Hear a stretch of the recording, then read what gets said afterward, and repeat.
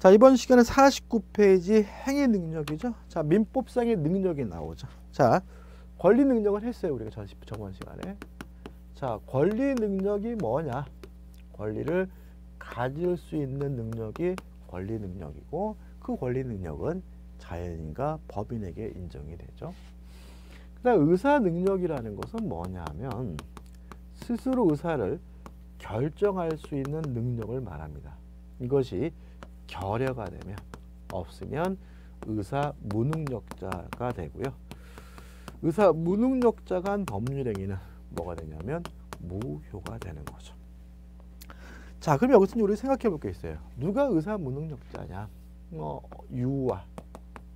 예를 들어서 다섯 먹은 꼬마다. 그러면 다섯 먹은 꼬마도 출생을 했으니까 뭐는요? 권리 능력은 있는 거죠. 다만 어, 스스로 의사를 결정할 수는 없으니까 다섯 살 먹은 꼬마는 뭐죠? 의사 무능력자고 그 행위는 무효가 되는 거죠. 근데 여기서 좀 생각해 볼 게 있어요. 자, 우리가 매매 계약을 했는데 그 매매 계약이 유효해요. 그러면 유효하면 계약 내용대로 이행해야 되겠죠.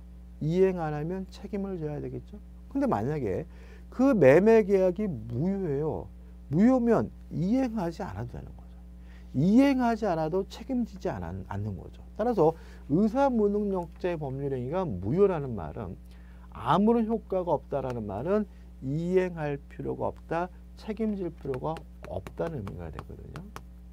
따라서 의사무능력자의 법률행위는 무효라는 말은 의사무능력자는 자신의 행위에 대해서 뭐 할 필요 없어요? 책임질 필요가 없다는 의미가 됩니다. 따라서 결과적으로는 의사 무능력자와 책임 무능력자는 같은 개념이 되는 거예요.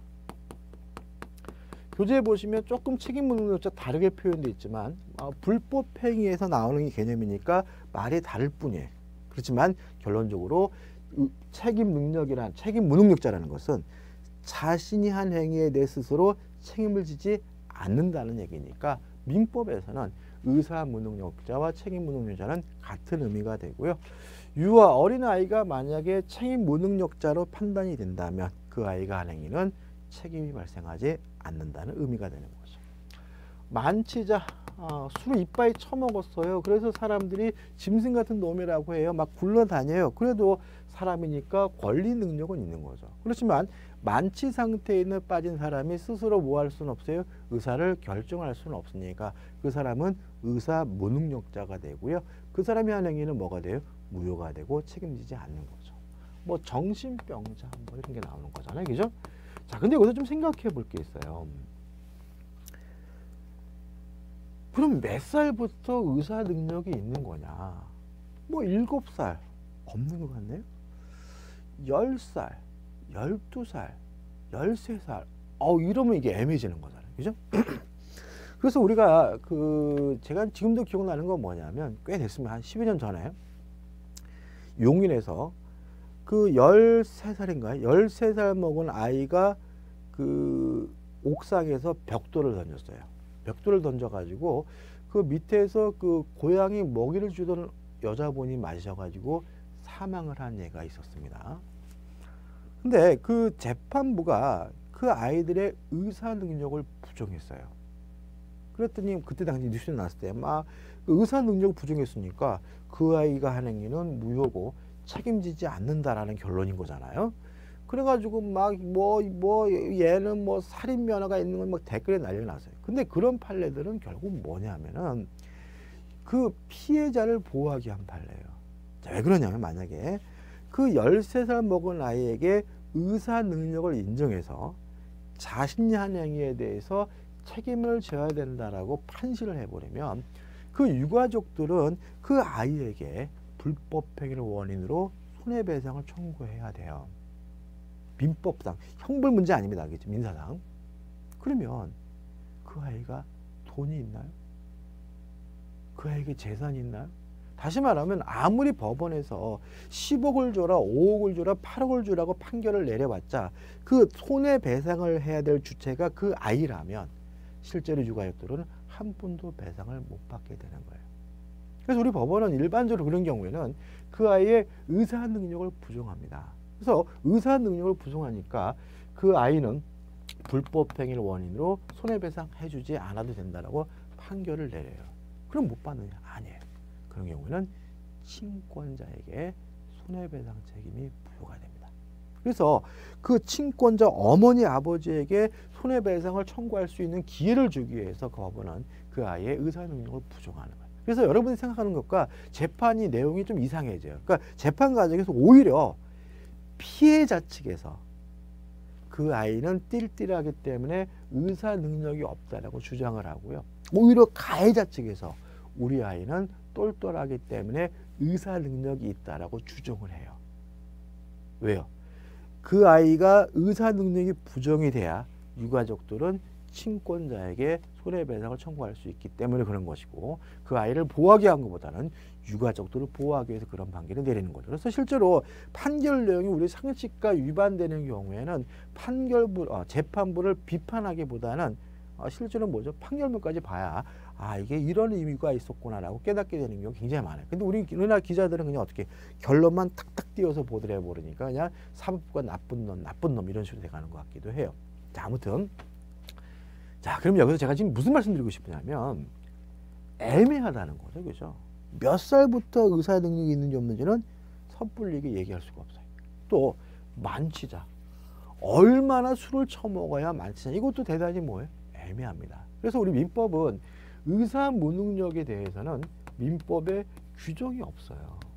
이거는 case by case고 판사가 개별적으로 판단할 수밖에 없는 문제인 거죠. 그래서 민법은 이렇게 능력이 부족한 사람들을 유용화, 정형화 해가지고 따로 규정을 두고 있는데요.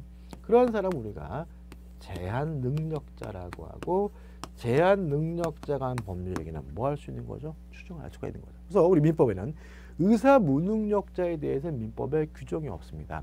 이렇게 능력이 부족한 사람들을 유용화, 정형화해서 따로 규정을 두고 있는데 이런 사람 우리가 제한 능력자라고 하는 거죠.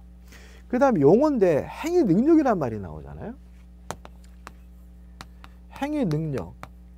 행위 능력이 없는 사람 우리가 행위 무능력자겠죠. 근데 일반적으로 제한 능력자를 행위 무능력자라고 해요. 좀 생각해 보자고요. 미성년자가 행위를 못 하나요? 미성년자도 밥도 먹고요. 미성년자도 축구도 하고요. 미성년자도 친구끼리 싸움도 하는데요. 그럼 여기서 이 행위라는 말은 앞에 중요한 말이 빠졌다는 거예요. 법률행위죠. 그럼 이렇게 된 거죠. 행위 능력이란 계약이나 단독행위 같은 법률행위를 독자적으로 할 수 있는 능력 우리가 행위 능력이라고 하고요. 법률 행위를 스스로 독자적으로 할 수 없는 사람 우리가 행위 무능력자라고 하고 우리 민법은 제한 능력자로 규정하고 있다라고 생각하시면 되는 거죠. 그래서 행위 능력이라는 것은 이러한 의사 무능력자들을 능력이 부족한 사람을 유용화, 정형화해서 만들어 놓은 제도다라는 걸 알 수가 있는 거죠. 자, 50페이지 오시면 이제 또 나옵니다. 제한 능력자 제도 1번. 의사 능력을 뭐라고요? 객관적으로 획일화한 제도다. 2번 제한 능력자 제도를 주고 있는 취지는 뭐예요? 능력이 부족한 사람을 보호하기 위한 거다. 3번 무효와 취소의 이중효를 인정하고 있다. 우리 판례도 통솔도. 자 이런 얘기입니다. 갑이 을과 만나가지고 매매 계약을 했습니다. 근데 갑이 다섯 살 먹은 꼬마예요. 그러면 미성년자죠. 명백히 따라서 갑은 미성년자란 이유로 제한 능력을 이유로 요 매매 계약을 뭐 할 수 있어요? 취소할 수가 있는 거죠. 음, 아니면 요 다섯 살이 또 뭐예요? 명백히 의사 무능력자이기도 한 거죠. 의사 무능력을 이유로 뭐예요? 무효임을 주장할 수 있는 거죠. 다시 말하면 다섯 먹은 꼬마아이가 매매 계약을 했다는 이 한 가지 법률행위에 대해서 취소 사유와 무효 사유 두 가지가 존재하는 경우죠. 이런 경우에는 갑 측에서는 취소를 하거나 무효를 주장하거나 아무나 선택할 수가 있는데 이거 우리가 무효와 취소의 이중효라고 하는 거죠. 뭐 교재는 제가 미성년자가 만취한 상태에서 만취자란 이유로 의사무능력을 이유로 무효고 또 미성년자란 이유로 뭐 할 수 있어요? 취소할 수 있잖아요. 이거 경우는 아무거나 선택해서 주장하면 되는데 이거 우리가 무효와 취소의 이중효라고 하는 거죠. 자, 이제 본격적으로 이제 제한 능력자로 들어갑니다. 자, 우리가 좀 우리가 민법을 공부할 때 좀 생각할 게 있어요. 우리 민법은요. 주택관에 대한 민법이에요. 사법시험 민법도 아니고요. 법무사 민법도 아닙니다. 그러니까 다시 말하면 우리는 주택관리사 시험에 필요한 정도까지만 공부하면 되는 거예요. 깊이 있게 들어가지 마세요. 나중에 보시면은 뭐한 지금은 제 말 다 동의하시는데 한 시험이 임박해서 한 4월 5월 되면은 막 이상한 판례니 뭐니 막 빗줄 치고 외우고 있고 막 그래. 아 그럼 뭐 한 장이야 그냥 아주 그냥. 왜요? 그런 거 하지 마세요. 왜냐하면 우리는 사법시험 민법이 그러니까 끝까지 다 가는 게 아니에요. 완벽하게 하는 것이 아니라 주택관리자 시험에 필요한 범위까지만 내 거로 하면 되는 거예요 이분 마찬가지죠. 그러니까 이것도 끝까지 깊이 있게 들어가면 판례도 엄청 많이 봐야 되고요 내용도 엄청 어려집니다 그렇게 하지 마세요 우리는 민법을 완성하는 것이 아니라 주택관리자 시험에 합격하기 위해서 필요한 범위까지만 공부하면 되는 거예요. 자, 보죠. 1번 미성년 제사조죠. 3번 19세로 성년에 이르게 된다죠. 그러면 어, 19살부터 성년자니까 결국은 미성년자는 누구냐? 19세 미만이죠. 19세 미만의 자죠. 다시 말하면 18살까지 18세 이하 19세 미만 18살까지가 뭐예요? 미성년자고 19살부터는 뭐가 돼요? 성년자가 되는 거죠. 그죠? 18세 이하. 같은 말이 뭐죠? 헷갈릴까 봐. 18세 이하. 19세 미만입니다. 자, 그러면 우리가 성년자가 되려면 몇 살이 돼요? 19살이 돼야 돼요. 그 다음에 또 하나 조심할 것은 뭐냐면 민법의 법에서 말하는 나이는 무조건 뭐예요? 만입니다. 만. 어, 우리 한국식 나이가 아니라 뭐요? 만 나이. 그래서 19세가 되는 생일날이 되면 뭐가 돼요? 그날 그날 0시부터 뭐가 되는 거예요? 성년자가 되는 거예요. 성년자가 되는 겁니다. 다시 말하면 뭐 5월 23일 태어난 아이다 그러면 19 살이 되는 5월 23일 날입니다. 5월 23일 날 0시부터 뭐가 되냐면 성년자가 돼요. 5월 22일 자정부터 뭐가 되냐면 성년자가 되는 거예요. 이해되시죠, 여러분들? 그죠? 자, 근데 예외가 있어요. 19살이 안 됐더라도 미성년자가 만약에 혼인을 하게 되면 성년이 되는데 우리가 성년 의제 제도라고 합니다. 과거에 우리 어, 우리 그런 거 있죠. 뭐 결혼해야 어른이 된다 이런 것 같아요. 그래서 미성년자가 만약에 혼인을 하면 혼인한 때부터 뭐가 되는 거예요? 성년자가 되는 거예요. 주의할 점이 몇 가지 있는데 자 하체가 나와 첫째 혼인은 법률 혼만을 의미한다. 따라서 동거하고 있더라도 사실혼 관계라 하더라도 성년을 의지되지는 않아요. 뭐가 돼요? 혼인 신고까지 한 법률 혼이어야 하고요. 두 번째 민법 영역에서만 그런 거다. 다시 말하면 미성년자가 혼인했더라도 청소년 보호법상 청소년인 거예요. 또 미성년자가 혼인했더라도 선거권이 주어지는 것은 아닌 거예요. 선거법이 정하고 있는 연령이 돼야 선거권이 주어지는 거예요. 다시 말하면 어느 범위 내에서만요. 민법 범위 내에서만 성년으로 의제가 되는 거죠. 자, 혼인하게 되면 성년자가 되니까 결국은 친권자의 친권은 뭐가 돼요? 소멸이 되는 거죠. 친권자의 친권은 소멸하게 되고 또 이 혼인한 미성년자가 아이를 낳았다면 이 아이에 대한 친권자는 누가 되는 거죠? 아, 미성년자인 본인이 되는 거예요. 이해되시나요? 예를 들어 가지고 17살 뭐 16살, 18살 먹은 미성년자가 결혼했어요. 그러면 성년자가 되잖아요. 그러면 결국은 이 부부의 친권자들의 친권은 뭐가 돼요? 소멸이 되고요. 16살 먹은 이 미성년자 부부가 아이를 낳았다면 그 아이에 대한 친권 누가요? 이 미성년자, 성년 의제가 된 부모가 친권을 행사하게 됨을 주의하시기 바랍니다. 마지막으로 혼인 관계가 해소가 됐더라도 성년 의제 제도의 효과는 유지가 됩니다.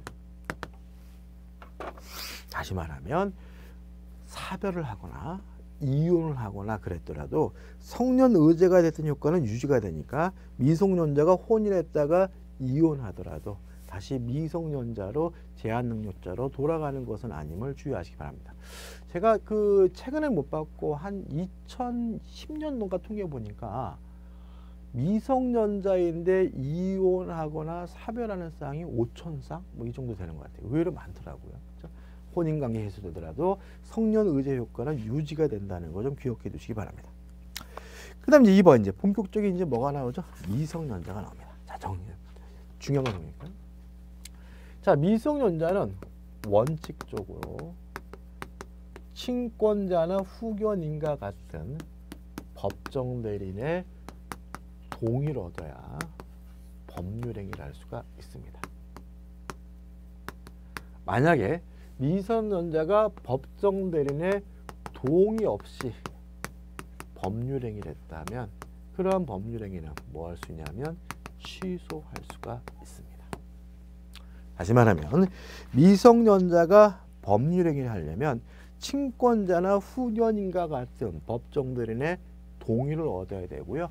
동의 없이 이루어진 그 법률행위는 제한 능력을 이유로 미성년자를 이유로 뭐 할 수 있습니까? 취소할 미성년을 이유로 뭐 할 수 있는 거죠? 취소할 수가 있는 거죠. 이게 가장 큰 틀이에요. 그래서 교재 보시면 2번 미성년자 행위 능력의 원칙 1. 법정 대리인의 동의가 필요하다. 박스 밑에 1번 만약에 동의를 얻지 않고 미성년자가 직접 법률행위를 했다면 뭐 할 수 있어요? 취소할 수 있고 취소하게 되면 그 법률행위는 과거로 소급해서 무효가 되고요. 2번 동의는 언제 해야 되느냐? 어, 법률행위를 하기 전에 하거나 동시에 해야 된다. 만약에 법률행위를 한 후에 하는 것은 동의가 아니라 추인이기 때문에 그렇고요. 3번 누구한테 하느냐? 미성년자이거나 아니면 그 상대방에게 하고요. 그 다음에 4번 동의 후에도 여전히 그 행위를 대리할 수 있다는 것이 나오고요. 5번이 시험에 가끔 나오죠. 동의가 있었다는 사실은 누가 입증하느냐? 상대방 측이 주장을 하는 거, 입증해야 된다는 거죠. 그러니까 우리가 입증에 관한 부분도 우리를 굉장히 괴롭히는데 항상 기본적인 것은 뭐냐면 입증이 됐을 때 누구에게 유리한가요? 만약에 동의가 있었다는 사실이 입증이 되면 취소할 수 없으니까 누가요? 상대방이 유리한 거죠. 따라서 동의가 있었다는 점은 누가 입증합니까? 상대방이 입증해야 되는 거죠. 2번 동의 취소 어, 동의 후에 동의를 또다시 뭐 할 수 있습니까? 취소할 수가 있는데 문제는 1번 취소 시기 어, 법률행위를 하기 전까지 할 수 있고 취소의 의미 철회다 이게 나오죠. 자 우리가 기초에 들으시면 아시겠지만 취소라는 것은 뭐냐면 법률행위를 소급해서 처음으로 돌아가서 무효화시키는 것을 우리가 취소라고 하는 거죠. 철회라는 것은 뭐냐면 효과가 발생하기 전에 효과 발생을 막는 거죠. 효과 발생을 막는 것. 저지하는 것을 우리가 철회라고 하고요.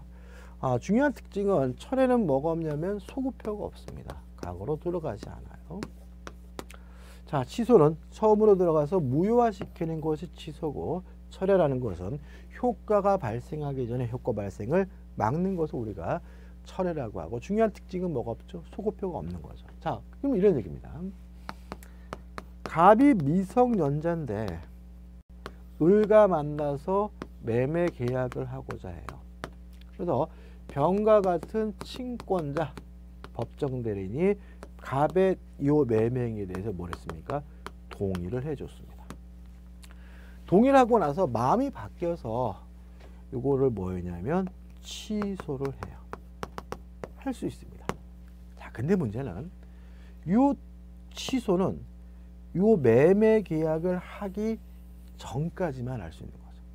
동의를 얻었다는 이유로 갑과 을이 매매 계약을 했다면 더 이상 병은 이 동의를 또다시 취소할 수는 없는 거예요. 따라서 매매 계약하기 전 효과 발생하기 전에 할 수 있다는 말은 취소라고 되어 있지만 이거는 취소가 아니라 뭘 철회로 해석이 된다는 거죠.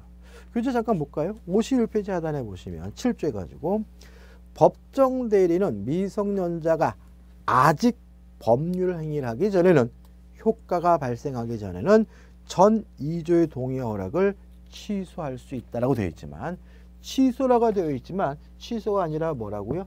철회로 이해하는 것이 동설과 판례 입장이고요. 언제까지 할 수 있습니까? 법률 행위를 하기 전까지만 할 수 있음을 주의하시기 바랍니다. 그 다음 넘겨보시면 어, 3번 법정 대리인의 동의 없이 미성년자가 단독으로 할 수 있는 행위입니다. 그죠? 자, 여기까지 안쪽이죠, 여러분들? 자, 그럼 지워볼게요.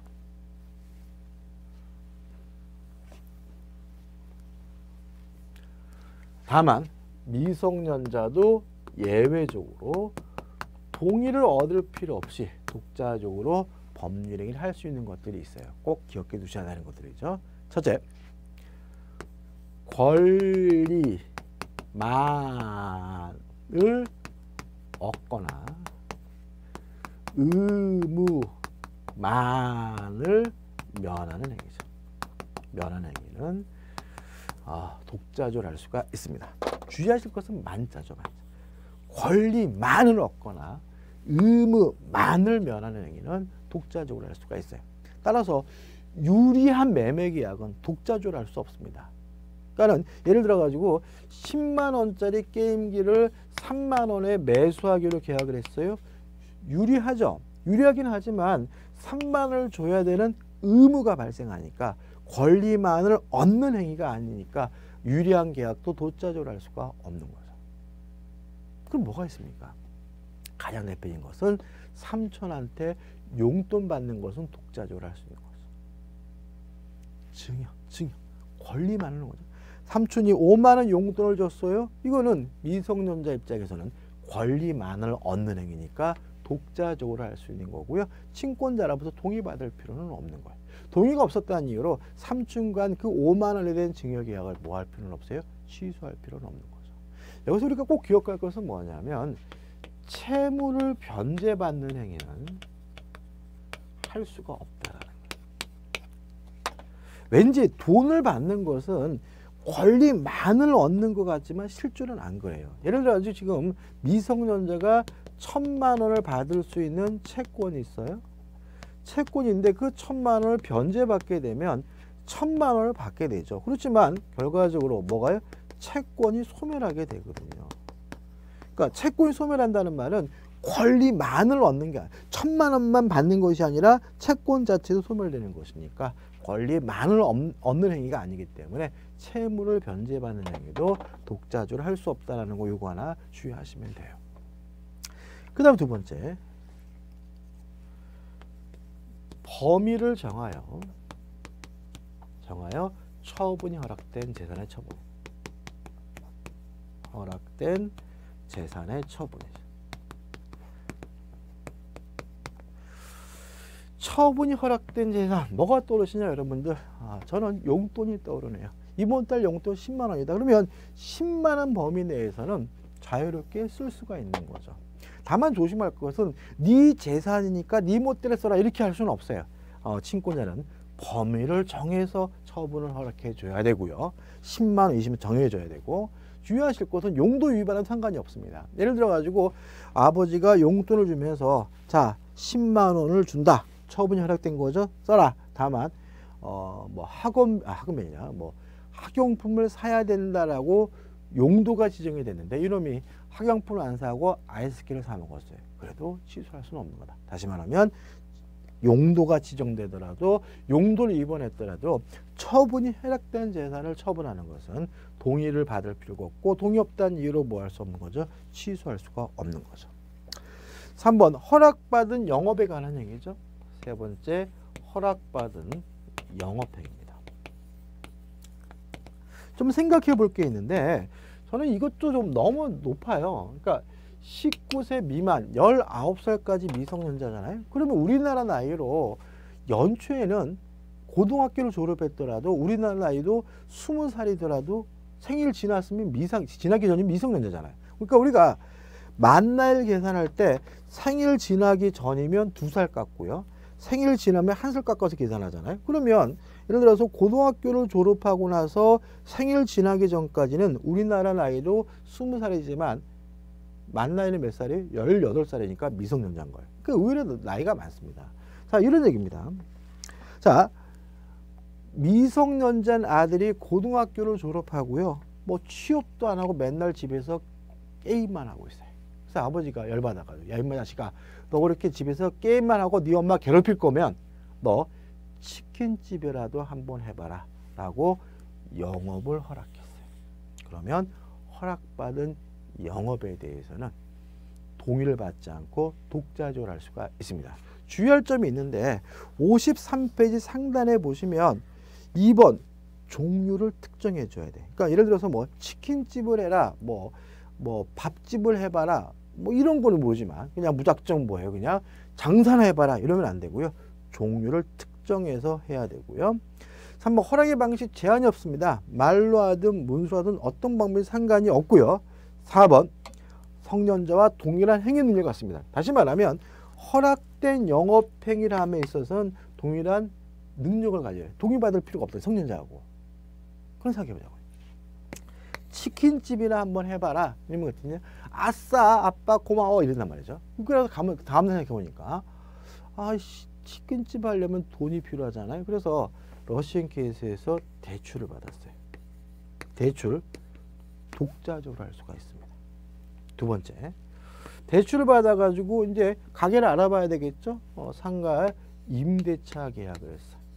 이것도 독자적으로 할 수가 있습니다. 자, 우리 판례에 따른다면 영업 치킨을 파는 그 직접 행위뿐만 아니라 그것과 간접적으로 관련되어 있는 준비하는 행위, 뭐 점포의 구입, 자금의 차용, 직원을 채용하는 것도 독자적으로 할 수도 있고 어, 동의받을 필요 없다는 거죠. 규정 읽어볼까요? 자, 4. 성년자와 동일한 행위 능력 기준 밑으로 하나, 둘, 세 번째 줄입니다. 허락받은 특정을 영업을 하는데 직접 뿐만 아니라 간접으로 필요한 일체 행위를 말하므로 허락받은 특정의 영업을 하는데 직접 아니 죄송합니다. 영업을 위한 자금의 차용 독자적으로 할수 있어 돈 빌리는 거. 그다음에 점포의 구입 점포를 사는 것도 독자적으로 할수 있고요. 임대차 계약도 독자적으로 할수 있고 점원의 채용 등 영업과 관한 일체 행위를 단독으로 할 수 있고 이와 관련된 소송 능력도 인정된다는 거 기억해 두시면 되겠죠. 5번. 자, 법정 대리는 영업 허락을 취소할 수 있습니다. 물론 이 취소도 뭐예요? 취소가 아니라 철회고 또 제한할 수 있는 거죠. 뭐 술은 팔지 마라 이런 거죠. 그 다음에 4번 대리이죠. 자, 미성년자도 독자적으로 대리인이 될 수 있다. 따라서 제한 능력자 미성년자도 대리인을 할 수 있고요. 왜 대리인이 될 수 있고 대리인을 할 수 있는지는 우리 민법 117조에 규정하기 때문에 대리에서 공부할 거고요. 그 다음에 넘겨보시면 다섯 번째 유언행위 독자적으로 할 수가 있습니다. 다시 말하면 미성년자라 하더라도 17살이 됐다면 유언은 독자적으로 할 수가 있고요. 여섯 번째 무한책임 이게 형법 규정 상법의 등입니다. 무한책임 사원으로서의 행위도 독자적으로 할 수가 있고요. 그 다음에 일곱 번째 임금 청구와 근로계입니다. 임금 청구와 근로계약도 독자적으로 할 수가 있습니다. 총 일곱 가지, 여덟 가지인가요? 네, 일곱 가지죠. 그죠? 자, 꼭 숙지해 두셔야 됩니다. 그죠? 자, 정리해 볼게요. 19세 미만의 자, 18살까지 사람은 미성년자인데 미성년자가 법률행위를 하려면 원칙적으로 법정대의 동의를 얻어야 법률행위를 할 수 있고요. 동의 없이 한 법률행위는 취소당하게 됩니다. 다만 예외적으로 동의 없이 독자적으로 할 수 있는 것이 있는데 첫째, 권리만을 얻거나 의무만을 면하는 행위. 두 번째, 범위를 정하여 처분이 허락된 재산의 처분. 세 번째, 허락받은 영업행위. 네 번째, 대리행위. 다섯 번째, 유언. 여섯 번째, 무한 책임 사원으로서의 행위. 일곱 여덟 번째, 임금 청구와 근로계약은 독자적으로 할수 있다는 거 기억해 두시면 됩니다. 자, 오늘 강의 여기까지고요. 어, 다음 주에 이제 피한정 후경임부터 봐야 되겠네요. 여러분들 수고 많으셨습니다. 여러분들 그리고 고맙습니다.